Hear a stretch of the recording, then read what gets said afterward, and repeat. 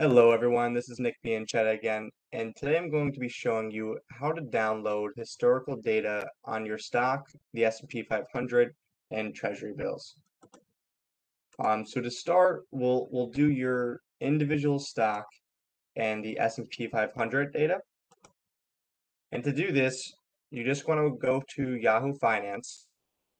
Um, the URL for that is finance.yahoo.com. And the easiest one will be to do the S&P 500 just because it's right here in front of us. And so towards the middle of the page on the left side, you'll see S&P 500. You want to click that.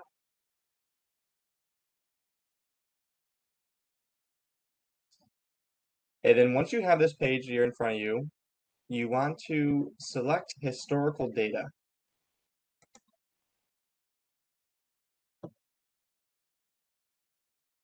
And so you have three different criteria, the time period, uh, the information you want to show, and the frequency. And so first you just want to adjust this to five years. You want the time period to be five years.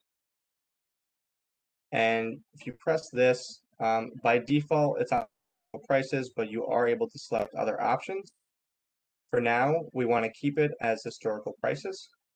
And then frequency to monthly. So once you have those three criteria, just click on apply. You should see all this data here update. Next, download. And it should download as an Excel CSV file. Um, it pulls up a different page and it gives you the option to change which type of file it is.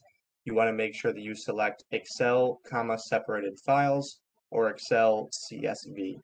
They are both the same thing. Um, so now that we have the S&P 500 data, next we will get the data for our individual stock.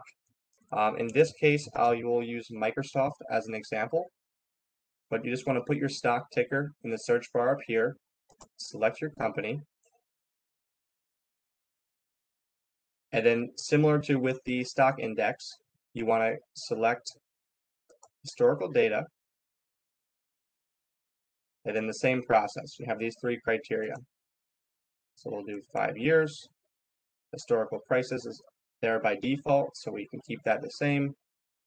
Frequency, monthly. Click apply. And then we can download this data as well.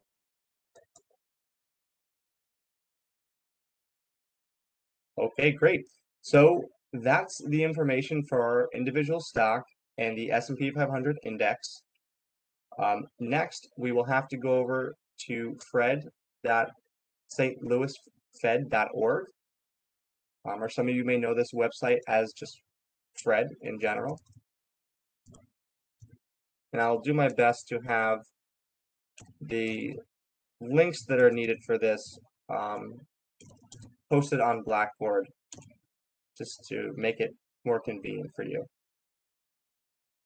So once you're on, on Fred, you just want to use the search bar in the top right of the screen, and you're going to search for the one year treasury bill. If you type in one year, you should see it pop up.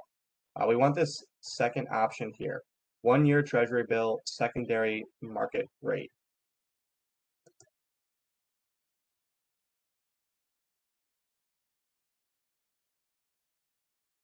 And again, for this, we want to have the five-year time period.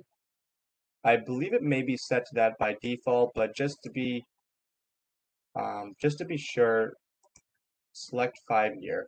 And I don't see it changing, so my guess is that it's just already that by default. Um, but next, you just want to click on download. And you have a couple different options that you can download it as. Again, we want to do a file. So it's the second option here after you click on download, CSV. Select that, and then it downloads.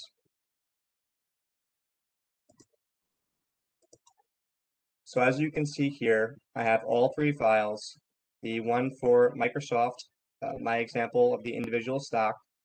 Um, this is the S&P 500 data, and then this is the historical data for the one-year treasury bill. So you want to make sure you have all three of these files saved somewhere where you know what it'll be, and these will all be used in eViews.